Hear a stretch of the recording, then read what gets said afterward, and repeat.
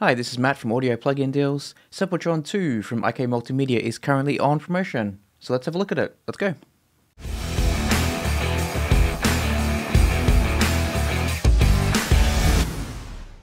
SampleTron 2 is IK Multimedia's take on analog tape-based sampling. So to do that, essentially they've taken their SampleTank 4 engine and added some tape modeling technology.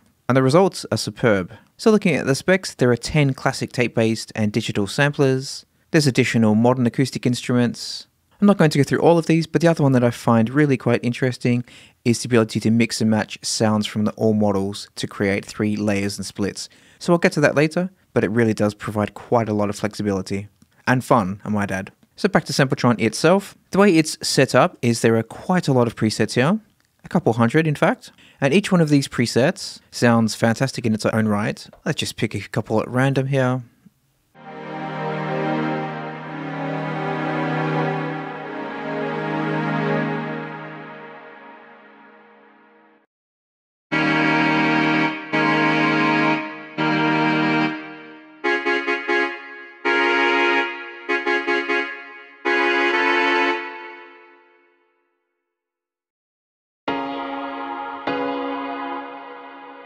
Obviously, I can't go through all of them because there are just way too many. I like the dusty ones especially, like this. I love that little green on top.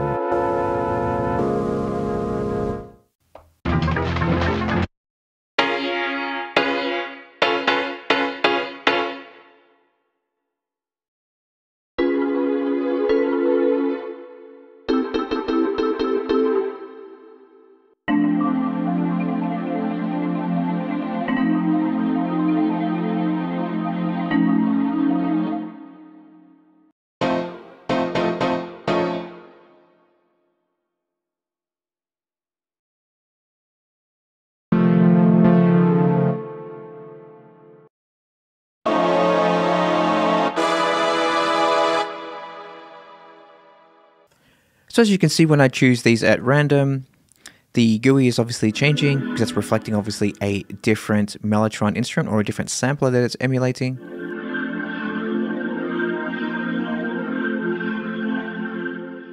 Now the way these presets are made up, they're made up of three tracks or layers essentially. So here we have the Vocoder Digital in slot A, Modern Choir in slot B, and then a Poly-M Vox in C. So currently we're mixing all these together, but if we turn off mix, and then we just have the vocoder, that's simply the vocoder in isolation. Similarly, we have the modern choir in isolation, and then the poly M.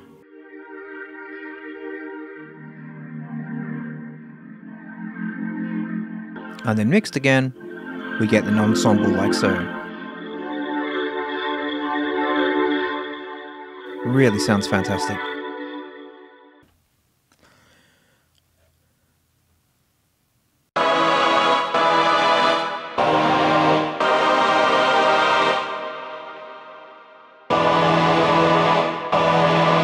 Here's another choir example. This one is made up of violins and then two layers of choir.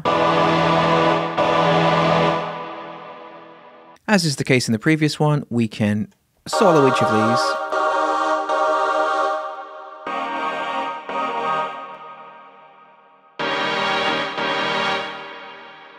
Then in addition to that, if we go to edit up here, we have each of these individual layers here, so A, B, and C, which obviously corresponds to these down here. Let's put the mix back on again. So this is mixing in accordance with these volume settings here, or any of these parameters for that matter. So the violins, let's keep that in the middle, and then we're going to pan one of the choirs left, hard left, and then one of the other choirs hard right. Maybe turn these down a bit in the mix.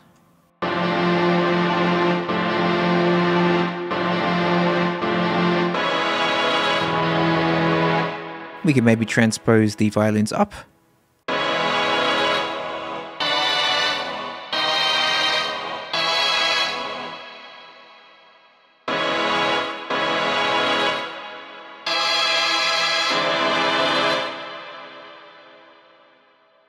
once we've done that, over to the right here, we have a quite a comprehensive filter section. So we have the LP6, 12, and 24 on the right-hand side, and then high pass 6, 12, and 24 on the left. Let's keep it at 24, and then we can play with the cutoff.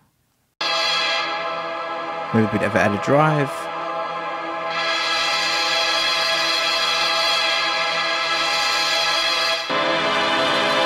Really some nice grit there. Looking further down, those filter adjustments were only applicable to slot A because we have slot A selected here. We can do a similar one for B. In fact, let's just solo B.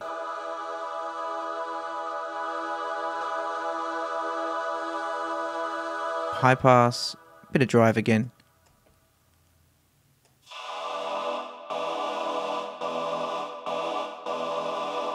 We can play with the envelope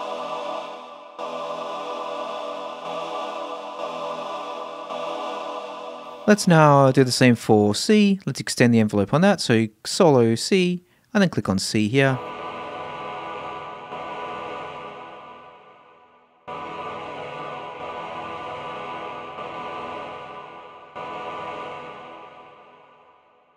Back to mix again.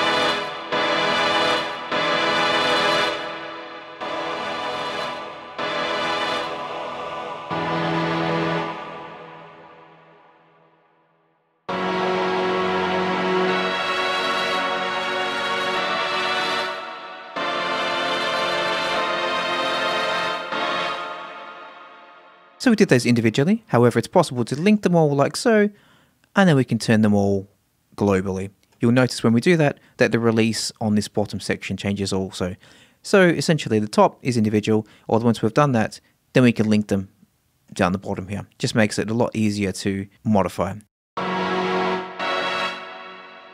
So you can consider those really essentially macro controls that are hardwired. Quite a nice workflow. The layers that we selected were derived from the preset that we chose, however there are far more options than that. So if we click on one of the layers itself, on the left hand side we have each of the each of the models. So there are 1, 2, 3, 4, 5, 6, 7, 8, 9, 10, 11 models, even including the awesome Roland VP330 vocoder. Then we have a category selection, so you can filter it out based on whatever type of sound you're looking at. And then we have each of the individual tracks here. And there are hundreds of these. So scrolling down, still going, still going, still going, still going, still going, still going. So let's turn off mix and let's go up to layer A and let's pick one of these. Let's go something that sounds interesting. Dirty electric piano.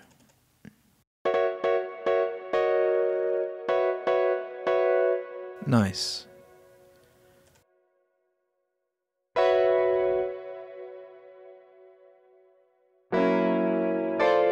Electric guitar.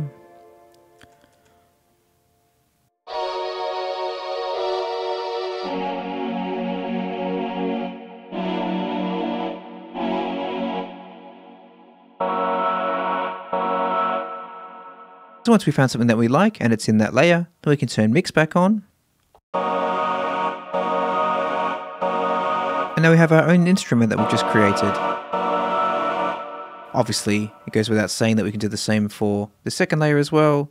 Let's put it in, let's put in one of these loops, let's say.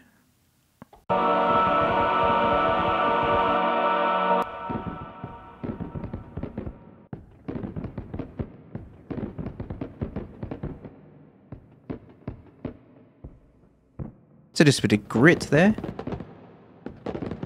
Or we can do, let's go a cello, no, or a flute perhaps. Let's step back on the mix.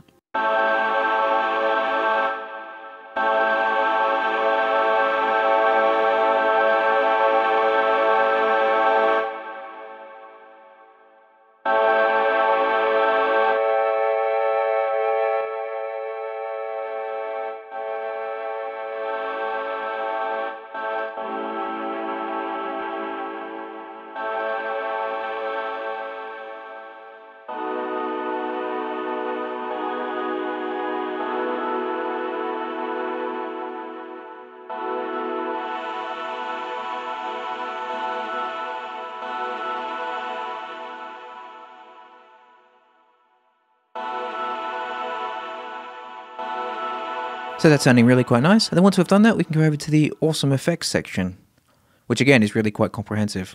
So at the top, on the left, we have an EQ section, and on the right, we have a compressor. This is currently on. Send the compression up.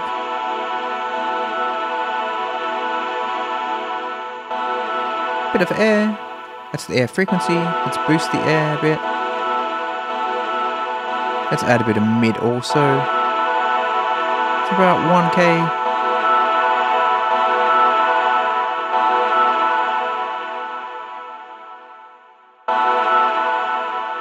Below that we have a echo section, so we can select our time here. It's currently set to milliseconds. We can do BPM sync here.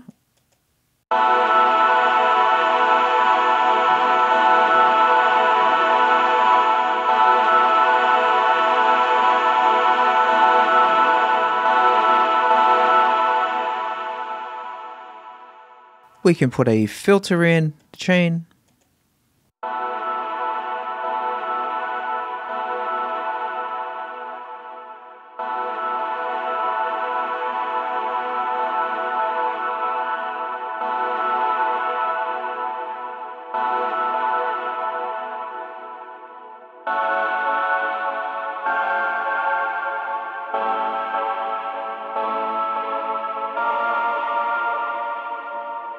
Let's turn this down a bit, I guess.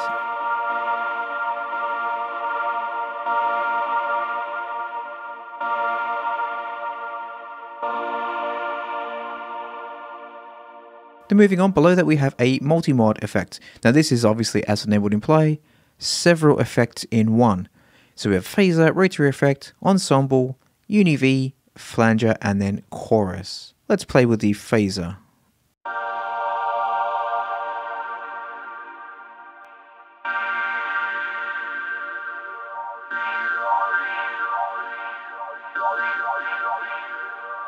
Playing with the rate.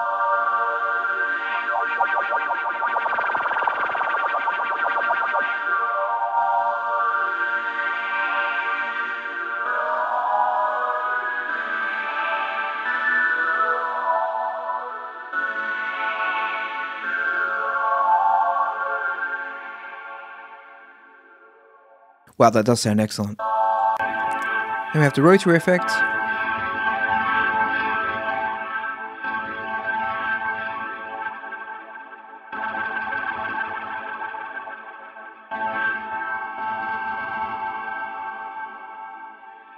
Let's keep it on slow.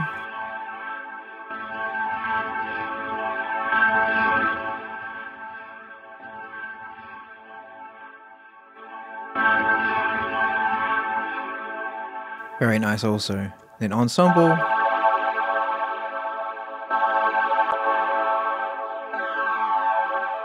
Have different modes over here, so we had string, synth 1, synth 2.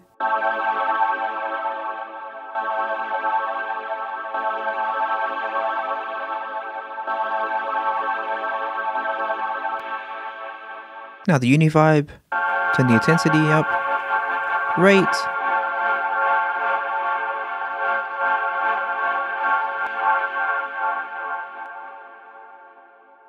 put it on chorus,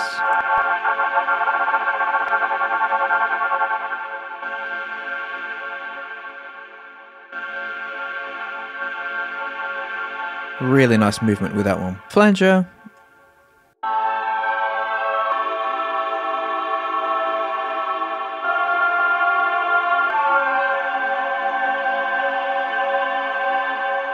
So this one goes quite extreme with the depth.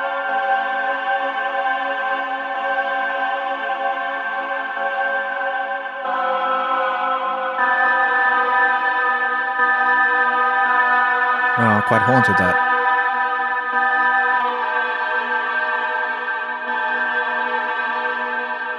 And then the last one, the chorus.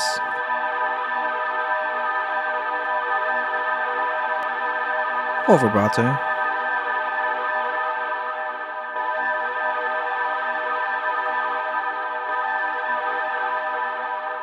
Awesome. Let's go back to the phaser. Now below that we have the vintage plate reverb. Turn the mix up.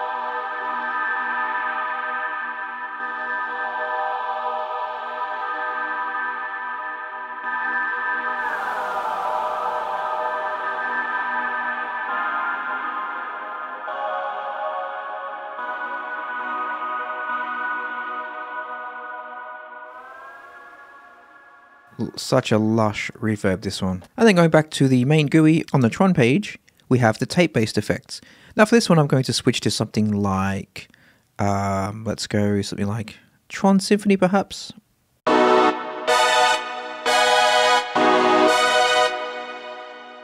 Let's open the lid on this one.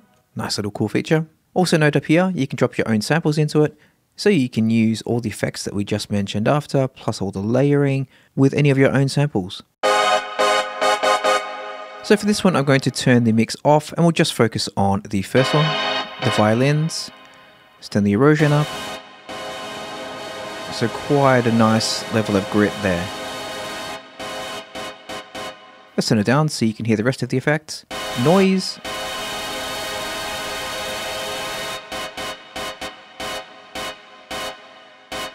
With noise, just a little will go a long way, especially when combined with erosion.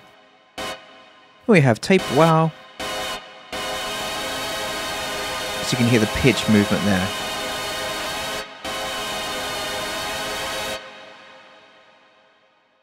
So again, a little goes a long way.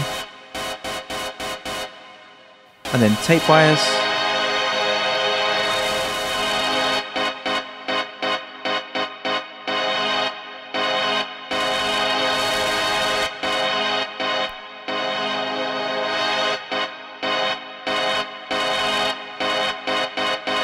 Then below that we have, I think one of my favorites is tape snaps.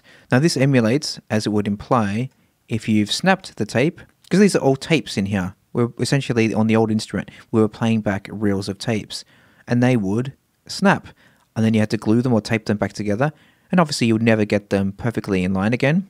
So that created some artifacts. Let's turn it right up. Like that, for example. Which I think sounds excellent. I think back in the day that would be definitely frowned upon. But now it sounds awesome. And then we have Flutter. So let's put all these back. It's a bit of bias, tiny bit of wow, and then tape snaps.